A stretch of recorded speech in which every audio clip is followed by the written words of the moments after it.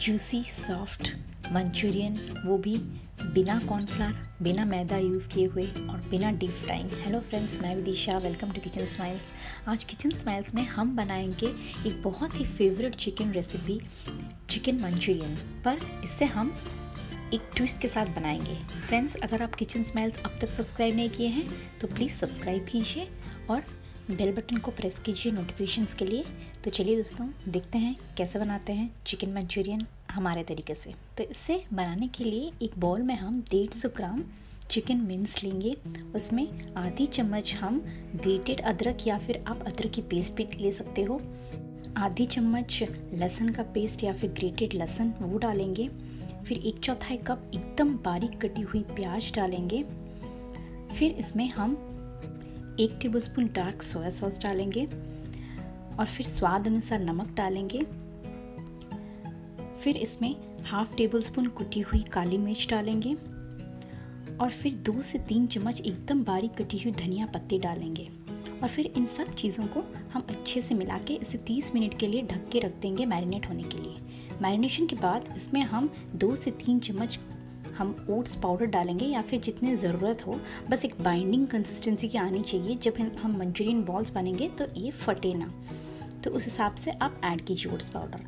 तो इसी तरह से छोटे छोटे पोर्शंस लेंगे, उसके बाद और ऐसे हम मंचूरियन बॉल्स बनाएँगे। याद रखिएगा, जैसे बॉल्स फटे ना, एकदम फर्म होनी चाहिए।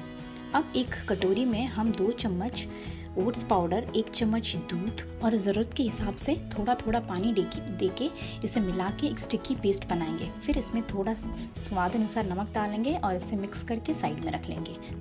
अब दोस्तों, गैस ऑन करके एक कढ़ाई रखेंगे। उसमें हम चार से पाँच टेबल स्पून तेल डालेंगे। याद रखिए दोस्तों, हमको डीप फ्राई नहीं करनी है, शैलो फ्राई करनी है। तो तेल थोड़ा डाल के उस पेस्ट जो घोल बनाया था, उसमें मंचूरियन बॉल्स को हम कोट करके हम शैलो फ्राई करेंगे।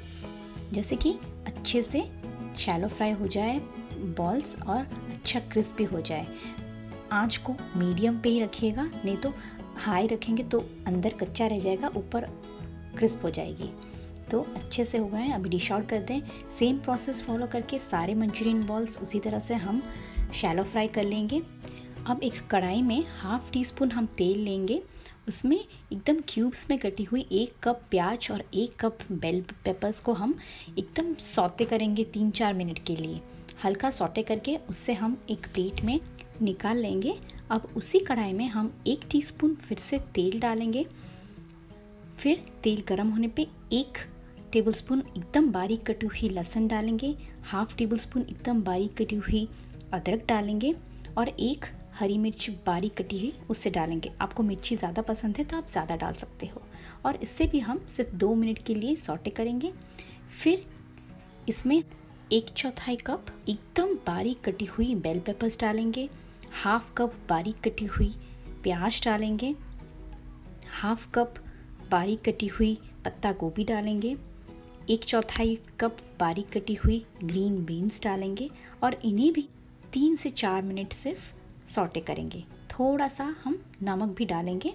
याद रखिए दोस्तों, हम हर स्टेप में नमक यूज़ किए हैं तो इसी तरह से आप देख के नमक डालिएगा, कहीं ज़्यादा ना हो जाए। तो सॉटे करने के बाद बीच में थोड़ा हम जगह करेंगे, उसमें हम दो टेबलस्पून डार्क सोया सॉस डालेंगे और चार टेबलस्पून टमाटो केचप डालेंगे।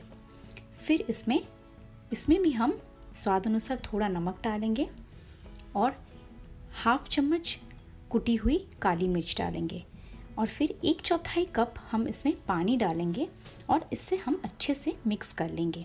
फिर गैस फ्लेम को थोड़ा हाई करके हम सारी चीज़ों को जो ग्रेवी है उससे एक उबाल लाएँगे। उबाल आने पर इसमें हम जो सॉटे किए हुए बेल पेपर्स और प्याज थे, वो डालेंगे और मंचूरियन बॉल्स जो शैलो फ्राइड थे, उन्हें डालेंगे और अच्छे से मिक्स करेंगे। मिक्स करते वक्त दोस्तों फ्लेम को थोड़ा हाई रखिएगा। अच्छे से मिक्स करें। दो मिनट के लिए बस डिश आउट कीजिए। बारीक कटी हुई धनिया पत्तों से इसे गार्निश कीजिए।